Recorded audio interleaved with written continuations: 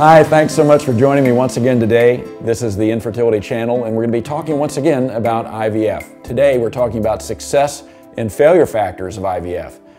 What things might you do, or what things might you be that are going to increase your success? A quick story to get started. A couple of years ago, we had a patient who came from another infertility clinic, so this was her second IVF cycle, and we asked her to take medications at a very precise time and dosage. However, she thought she knew better than the physicians in our clinic, and so she took the medications a day late and ovulated early. So it's really important to find a good physician team in whom you trust so you don't have to be cavalier about taking your medications. A couple of words about that. You might want to access the website cdc.gov to look at your clinic success rates, clinic specific reports. Another place to look is the SART stands for SART, Society for Assisted Reproductive Technologies.org. And you can get some pretty good background information on your doctor's success rates. Try to find out how many IVF cycles they do in a year and what their trends have been over the last number of years. Find out who their embryologist is. That's all important. Find out how long he or she has been with the clinic as the embryologist. Talk to other patients who have been at that particular clinic and then make your best judgment. So if we look at the recent reporting years, we divide success rates based upon maternal age. So if the patient age is less than 35 years, we would anticipate around a 42 or 43% take-home baby rate, live-born birth rate.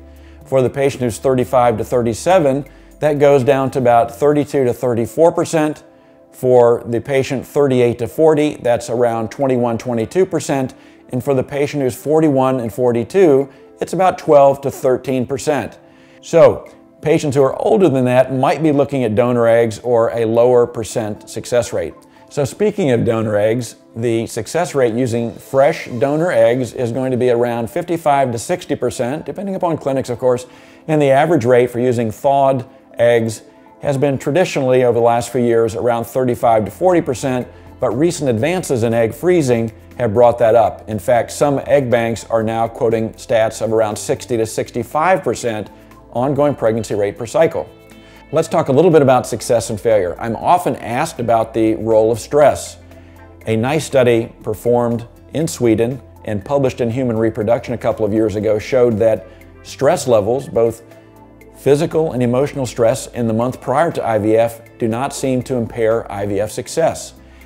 IVF failure, however, can lead to an increased chance for depression. And the cost for IVF can be financially taxing as well. That can lead to melancholy or depression for sure. Those women who have the highest levels of eggs left, and that's judged by a day two or three follicle stimulating hormone level or an anti-Mullerian hormone level, and we've talked about that in the past, those are general indices of your ovarian age. So the younger the ovaries, the higher the IVF success rates. Also, if you've been pregnant before, that increases your chances in IVF, whether that was a live born baby or a miscarriage or a termination.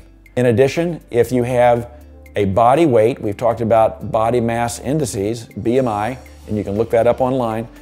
If your body mass index is between 19 and 25, you have the best chance. If you're lower than that, that's a problem. If you're higher than that, that's also a bit of a problem. So try to get your, your weight down. What things adversely affect success? Well, we know that if you're a smoker, that decreases your chances by about 30 to 35%. So stop smoking and try to be without smoke for three months going into IVF. Also, if you have a fallopian tube that's fluid filled from past infection, a so-called hydrosalpinx, we know that that can decrease your chances by about 50%. So try to avoid smoke, try to avoid excessive alcohol, try to avoid caffeine, try to exercise as we've talked about in the last episode or so. Get as healthy as you can before IVF and you're going to up your chances. A little bit more about the timing of these medications.